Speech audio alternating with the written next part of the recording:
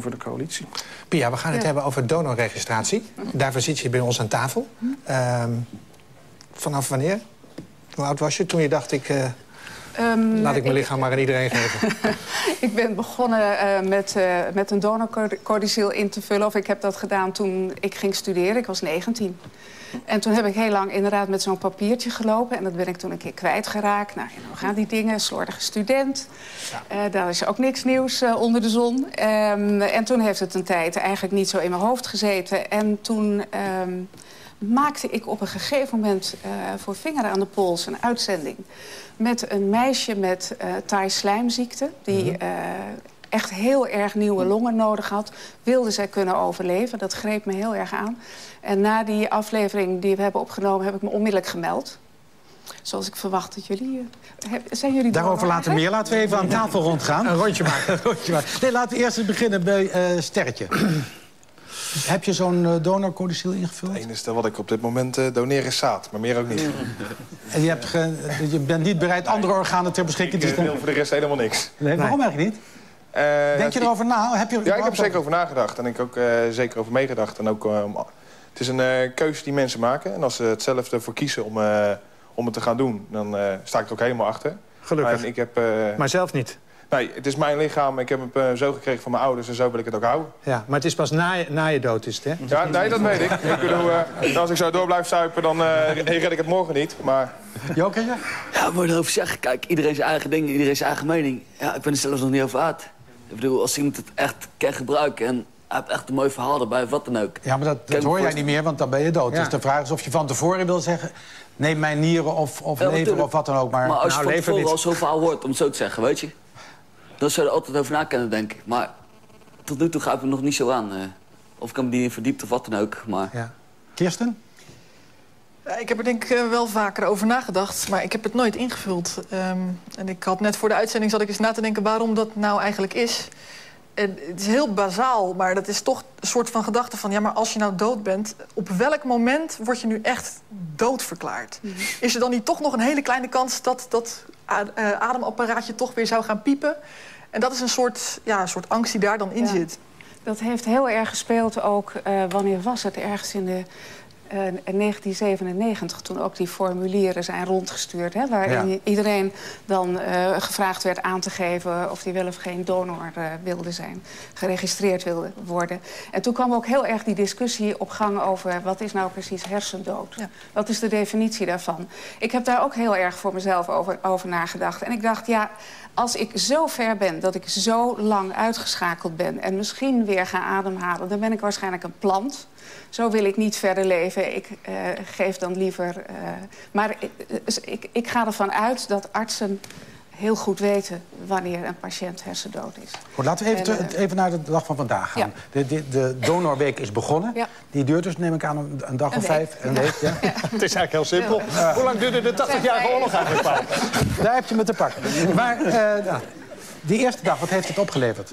Eh, dat heeft eh, eh, 12 uur eh, live internet oproepen opgeleverd... die geleid hebben tot ruim 11.000 eh, nieuwe registraties. Dat is niet niks. Nee, dat is echt veel. En, Want waar mikken jullie op in een week? Ja, dat, dat, dat weet ik niet. Ik, ik, dat hangt er helemaal vanaf, maar dit is een prachtig begin. Ehm, en en eh, degenen die dit organiseren denken ook dat het eigenlijk echt ook nog maar het begin is... en dat deze dag ook nog na zal eilen. Want eh, er zijn allemaal mensen geweest die eh, bij nu.nl een oproep hebben gedaan... via de telefoon en via de social media... om ja, aan mensen toch om mee te doen en vooral om na te denken. En dan blijkt dat 90% van de mensen die eh, zich laten registreren... want je kunt ook registreren, nee, ik wil het niet. Eh, 90% zegt ja.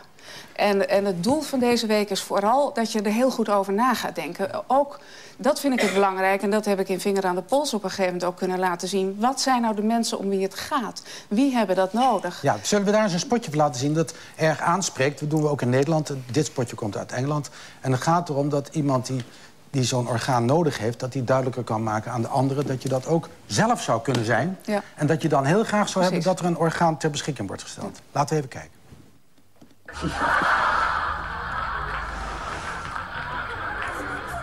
If someone you love was offered a life saving organ, what would you do? Nothing? Nearly all of us would take an organ, but most of us put off registering as a donor. If you believe in organ donation, prove it. Register now. Helpt dit, Kirsten? Eh, nou ja, eigenlijk wel. Eh, in combinatie met eh, wat we voorafgaand aan de uitzending bespraken. Er werd namelijk gezegd van... stel nou dat je voortaan alleen nog maar een orgaan zou krijgen... als je zelf ook geregistreerd staat. Ja. Dan zou je daarover denken. En toen dacht ik echt van... ja, eigenlijk is het ook flauwekul... en ik moet gewoon zo'n ding invullen. En dat ga ik ook doen. Ja, ik, volgens mij heb ik het ingevuld. Ik weet het niet zeker. Kan, ik, het echt- kan ik het Je nagaan? je kan het ook via internet eh, terugvinden met je DigiD. Wat tegenwoordig eh, heel veel mensen hebben. Eh, kun je A, registreren, maar B, kun je Hm. Ja. ook kijken wat daarin staat. Ik weet nog precies wat, dat ik gewoon alles beschikbaar heb, ter beschikking stel. Maar stel nu, ik zou daarop terugkomen. Of bijvoorbeeld, je, je kan keuzes maken. Je hoeft niet, je hoeft niet heel rigoureus eh, te zijn. Je Maar kan wat Kirsten zegt, is dat, dit, is dat dit een goed idee? Dat je bijvoorbeeld met een ziekenhuis wat dan ook zou afspreken... eh, je kunt alleen een orgaan krijgen wanneer je zelf Ja. als donor Ja. dat codicil hebt Ja, ondertekend. maar dan, dan trek je het, vind ik... eh, Ik heb daar ook heel erg over nagedacht. En, en binnen D66 klinken ook die geluiden. Ehm, ik vind het ook wel een lastige. Want er zijn bijvoorbeeld mensen die, omdat ze een infectieziekte hebben gehad... niet in aanmerking komen om donor te zijn. Maar misschien wel zelf een orgaan nodig hebben. Die zouden daar buiten vallen. Kinderen eh, vallen daar buiten. Het is een Maar hele goed, daar kun, je, lastige... daar kun je uitzonderingsclausules Daar- je kunt voor... heel veel uitzonderingen maken. Het idee, Tegelijkertijd het principe. het principe, eh, het principe is, vind ik toch een beetje... Ik, ik heb er nog steeds iets bij. eh, het, het, het, het is niet helemaal wat ik, waar ik naartoe zou willen. En ik dacht, waarom is dat? Dat is om deze reden. Omdat je nooit precies kunt aangeven... zeker niet in het systeem wat we nu hebben... eh, of mensen niet door een of andere domme fout of, of dommigheid... zich niet geregistreerd hebben. Misschien wel denken dat ze het gedaan hebben. Meneer Plesman weet het niet eens zeker. Denkt, ik ben geregistreerd en dan Ja. heeft hij een orgaan nodig. Ja, sorry meneer, u krijgt het niet, want u bent zelf geen donor. Eh, dat is het snel in. Dat, dus ik heb nog moeite met dat principe en ik zou veel liever het van de, eh, van de positieve kant eh, willen bekijken. En dat, ik vind eigenlijk wel dat je via deze discussie daar wel op komt. Namelijk, ehm, ja, als je het voor jezelf wenst, waarom zou je het dan niet ter beschikking stellen voor een ander? Ja. Sander? Dat wel. Maar om dat wettelijk te regelen zou ik. Ja. Ik heb ooit, eh, wat was het, 97, maar jaren geleden bij die campagne getekend. Maar wat mij betreft zou het andersom mogen zijn dat je in principe donor bent. En pas als je opgeeft dat je dat pertinent niet wilt, eh, dat het niet het geval is. Nee, Ja. Dat is ook inderdaad wat... Daar is geen eh, meerderheid voor de Daar Kamer. Daar is geen meerderheid voor. Nee. nee. Daar begin je al niet eens meer aan, hè, geloof ik. Nou, dus dat is ja, zo vaak geprobeerd. Eh, Het dit gekke is, wel, ja. dan altijd eh, Ja. gaat het om de integriteit van het lichaam. Ja. Wat ik heel raar vind, want op het Ja. moment dat je een donor zelf wil hebben... dan moet je toch ook iets van iemand anders aannemen wat je in je lichaam gaat stoppen. Dus het is een heel raar argument. Nou, en het belangrijke van, van dat systeem waarin je zegt eh, actieve donorregistratie betekent dat je gewoon moet nadenken. Je kunt er niet aan ontsnappen. Je moet gewoon reageren. Je kan, het, het is niet zo dat je verplicht eh, orgaandonor moet worden, maar je kunt je laten registreren. Je kunt ook zeggen nee. Maar dan heb je in elk geval die keuze gemaakt, dan is er over gesproken. En dat ontbreekt er heel vaak aan. Oké. Eh, de actie duurt nog een hele week. Ja. En eh, je raadt alle sociale media aan om daar ook Ja, van dat eh, middel eh, gebruik te woensdag maken. op Hives, eh, ik geloof vrijdag op YouTube. Er gebeurt nog heel veel. Dus dat internet moet je afschuimen, Paul. En zijn jullie nou... Eh, dat vertel ik je zo. Zijn jullie geregistreerd? Zijn jullie gaan, eh, geregistreerd? Wij komen daar nog op terug. Eh, we gaan zo naar OO Hier is woord nog niet over gezegd. En eh, ja, we spreken elkaar nog. Ja. En we gaan ook praten met Kirsten Verdel over DXG ingaan bijvoorbeeld. Maar we gaan eerst naar de ZEP-service.